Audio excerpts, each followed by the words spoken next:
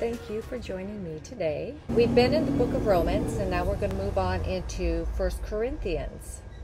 And we will be talking about love again in these. Now there's a lot of scriptures, so we'll be sinking our teeth into love bites, okay? Uh, 1 Corinthians 4:21. What will ye? Shall I come unto you with a rod, or in love, and in the spirit of meekness? Paul is getting ready to visit the followers. He says it in verse um, 14, he says, When he comes, what do they want him to do? What will ye? Do you want me to come to you and shame you and to warn you? To, uh, shall I come unto you with a rod? Do you want to be disciplined? Um, or do you want me to come to you in love and in the spirit of meekness? There's a time to confront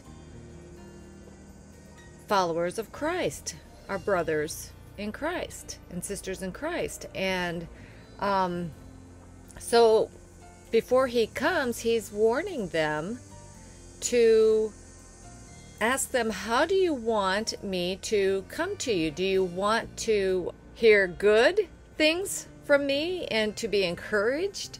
Or do you need to be disciplined with the rod? So, as believers, I think we need to really think about that aspect of admonishing one another in the spirit of love. Okay, let's move on to 1 Corinthians 8, verse 1. Now, is touching things offered unto idols, we know that we all have knowledge. Knowledge puffeth up, but charity edifieth. Charity here is used in place of love. And I have underlined edifieth here. Edifieth means to build up.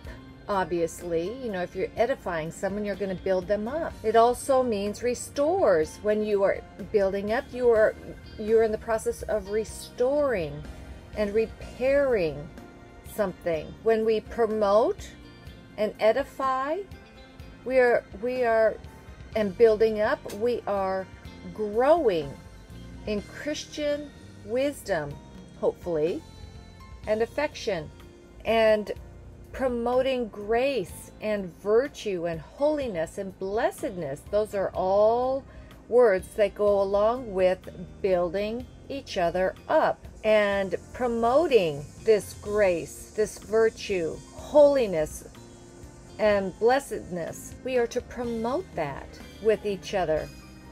So, what does that have to do with touching things offered unto idols? Here he's saying we all have knowledge. What kind of knowledge is he referring to here? Well, the background story here was the belief by some Corinthians that images carried shadows of one of the one represented that they would be eating and drinking in the shadows of images having a weak conscience now the corinthians totally objected to everything knowingly used in idolatrous services and abhorred the use of that meat as for the knowledge some accepted that the knowledge of Christ's sacrifice was sufficient and there was liberty to eat such meat, and were not being bound by Jewish rites and laws and ceremonies. But even though they had this knowledge, Paul says love is better, is a better action of building up, even above knowing that there was liberty to eat the meat. So we shouldn't look down on those who don't have the knowledge.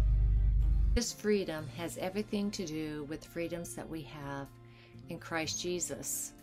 Once you have accepted Him, we are free. Um, not free to abuse our freedoms, that I'll get to in a moment, but we are free knowing that there is only one God. The Corinthians and this meat that they were offering to the idols had certain belief systems that they were bound to. But as people accepted Christ, there was no reason to, uh, as some believed, they had freedom to eat the meat that was offered to idols because there was only one true God. And they understood that, they had knowledge of that. There were others that weren't strong in their faith, and it was an issue for them. They needed to be taught more and they needed to have greater understanding that they had freedom in Christ.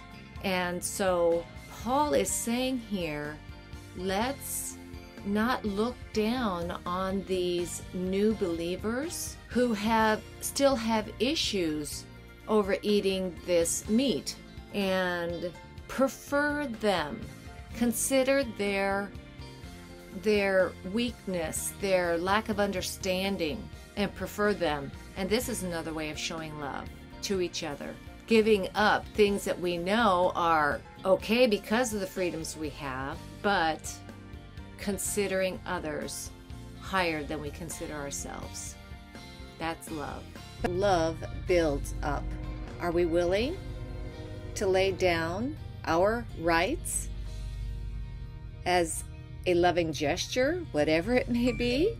May we begin to see the importance of loving each other enough to be being willing to lay down our rights in love of others, which would be a holy and acceptable loving action in the sight of the Lord God.